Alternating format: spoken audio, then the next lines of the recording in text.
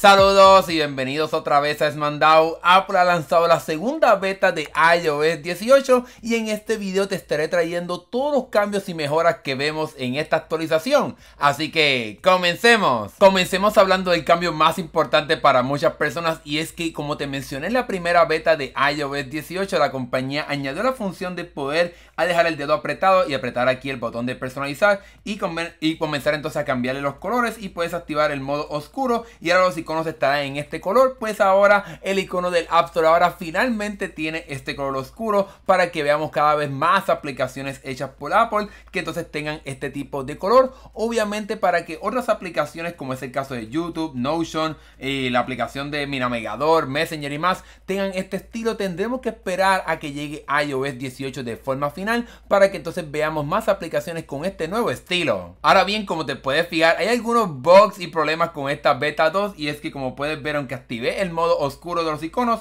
no todas las aplicaciones de Apple tienen este color. Por ejemplo, aquí de mensajes no se cambió, pero hay otro problema también y es que si dejamos el dedo apretado y vamos otra vez a la parte de personalizar y activamos los iconos grandes, vas a notar que ahora en los, los iconos que están dentro de una carpeta están como que mucho más pequeños de lo que normalmente deberían verse. Así que parece que esto es un problema en esta segunda beta de iOS 18 que seguramente tendremos que esperar a la tercera beta para que se resuelva. Ah, y otro problema que encontramos en la parte de la pantalla de inicio es que en ocasiones cuando se activa el modo oscuro, los iconos de las notificaciones en vez de verse un color rojo, se ve en este color negro. Seguramente es un error, realmente esto no se supone que se vea así, pero ahí vas viendo que todavía estamos en estos sistemas betas y que no están 100% pulidas. Y por último, en esta parte de la pantalla de inicio, ahora Apple ha cambiado el orden de cuando dejas el dedo apretado para configurar y modificar estas aplicaciones, ya que además de añadir la parte de solicitar Face ID para que puedas entrar solamente con Face ID, la compañía ha cambiado el orden para que ahora la parte de eliminar una aplicación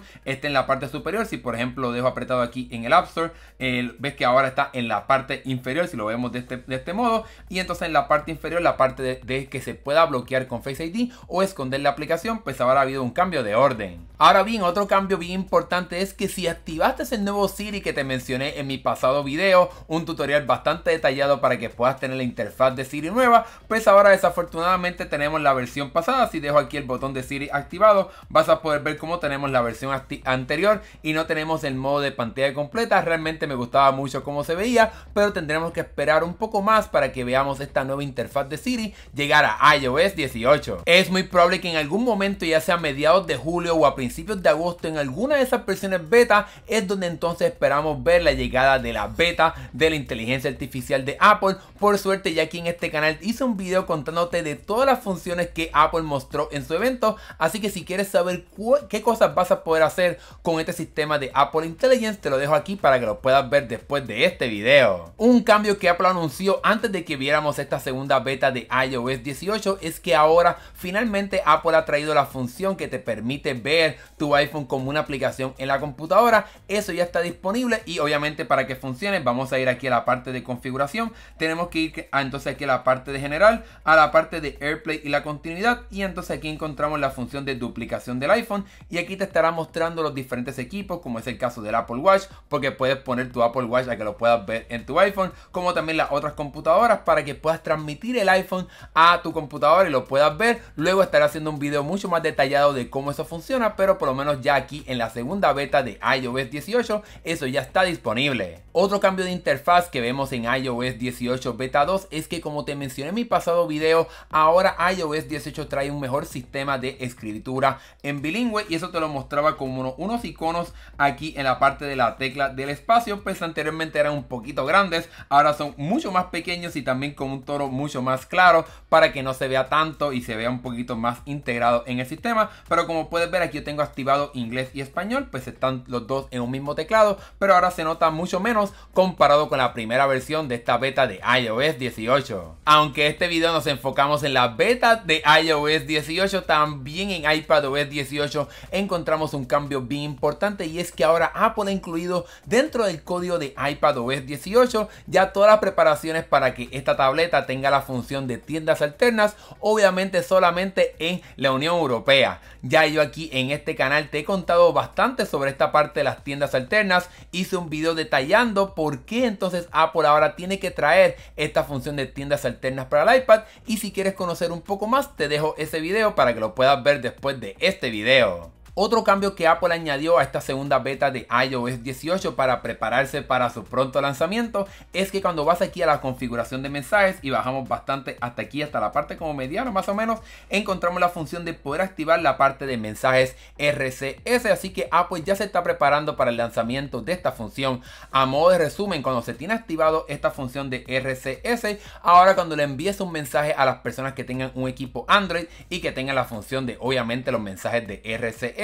pues vas a poder enviar fotos de mayor calidad, vas a poder enviar eh, mensajes de audio, vas a poder recibir recibos, vaya la redundancia, de que ese mensaje se envió y que ese mensaje se recibió. Así que la experiencia de enviar mensajes de texto a una persona con Android estará mejorando cuando entonces esta función llegue. Desafortunadamente aún encontramos este botoncito para poder encender esta función. Ya yo probé enviándole mensajes de texto a un amigo mío que utiliza Android y desafortunadamente todavía esto no está activado y al parecer esta función de mensajes RCS solamente te estará apareciendo en algunos países y en algunos proveedores, así que poco a poco Apple se va preparando para este lanzamiento, pero seguramente para que esto funcione debería llegar, diría yo, o cuando esté cercano a la fecha de iOS 18 de su lanzamiento en algún momento en septiembre o quizás durante las próximas semanas Apple lo habilita para que entonces las personas puedan comenzar a probarlo y ver si realmente funciona o no. Ok, aquí está Hernández del futuro y es que luego de grabar encontré que sí, en efecto, habido cambios también a la parte de cómo Apple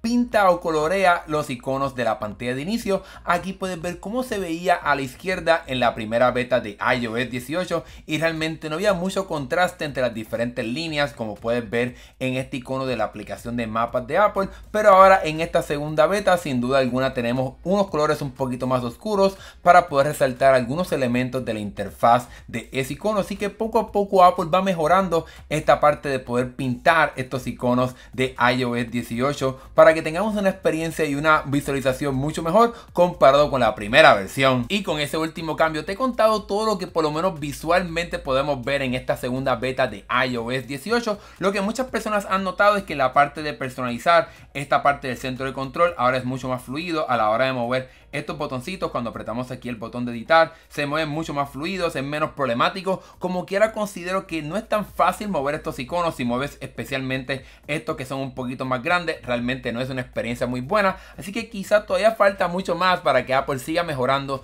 esta parte del centro de control. Pero por lo menos en esta segunda beta funciona mucho mejor la parte de personalizar esta parte del teléfono. Y con ese último cambio te he contado todo lo que por lo menos hasta el momento he encontrado en esta segunda beta de iOS 10